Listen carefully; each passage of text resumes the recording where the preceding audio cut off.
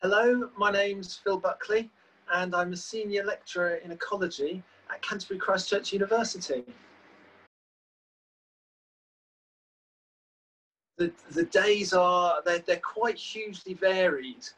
Uh, the, the main parts of my role are to look after students, uh, to carry out lectures, and um, also to carry out research. So I'll find myself, um, a, typical day might involve talking to two or three students about various aspects of their studies. I will also be preparing teaching materials and delivering teaching. I might also be uh, making videos or, uh, or carrying out some of the research that I do. So it could, yeah, and, and each day can be slightly different. Um, I, I, could be, uh, today for example, I was talking to various different contacts that I have. Uh, I was preparing a paper for publication with some, uh, with some Chinese colleagues that I have. And uh, I've also been talking to a guy who was a dissertation student of mine in Hawaii. Oh, sorry, he's a dissertation student of mine before. He's now um, working in Hawaii, and we're planning to publish a paper together.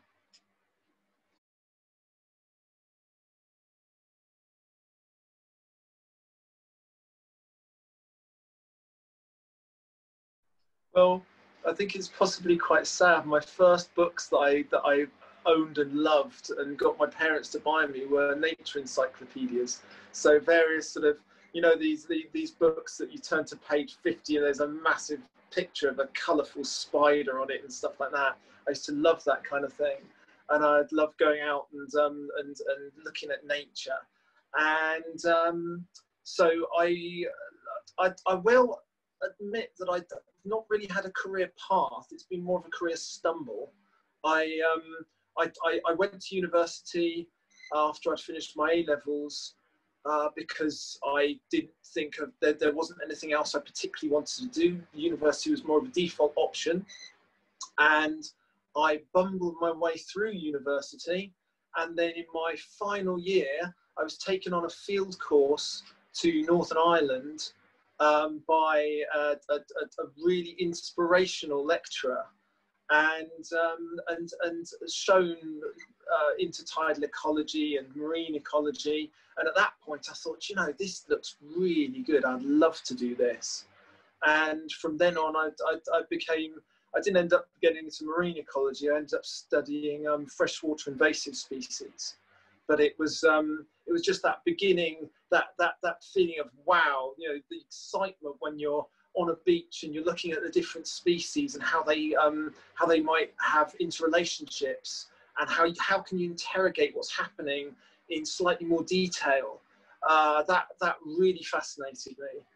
I uh, travelled on Erasmus in my second year, and at the end of um, my degree, I was given the opportunity to do some uh, postgraduate uh, qualification which was attached to this. Um, it, you know, if you've been on Erasmus, you were allowed to do this qualification. And I happened to be looking at nematodes that live in sewage on Hastings Beach, uh, which I mean, obviously there was there was a big crowd of people wanting to do that. Um, but a um, I, I, was I was studying them using labs at Christ Church, and whilst at labs at Christ Church, a job came up uh, as a research technician that came with a PhD attached to it. So you take on the job and, and sort of one day a week you're allowed to do a PhD.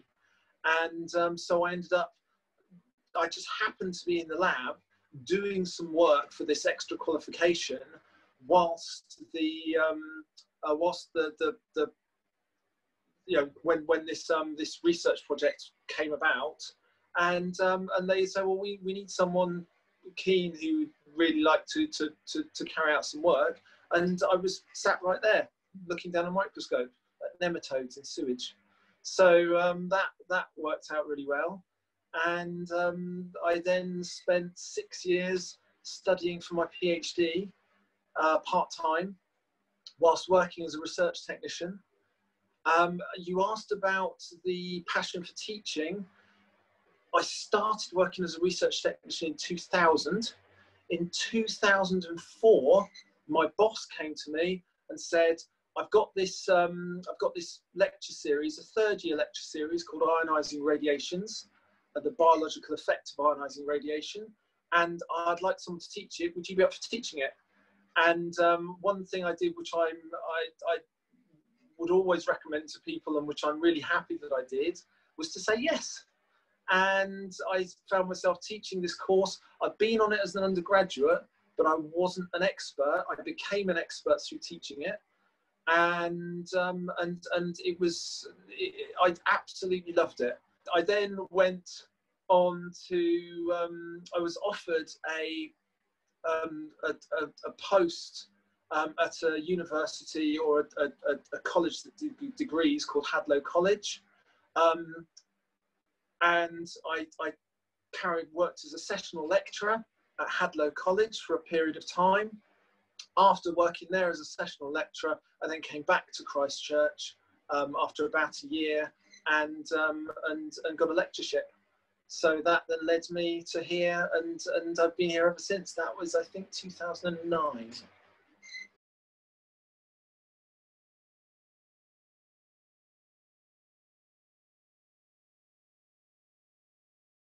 I, I, really enjoy lecturing, so I, I, have not really got any plans to do anything else at the moment. Uh, the, the, the choice from senior lecturer becomes quite exciting because there are two strands. On the one hand, you could get more into the learning and teaching side, and then you go for a promotion to um, uh, what's called principal lecturer.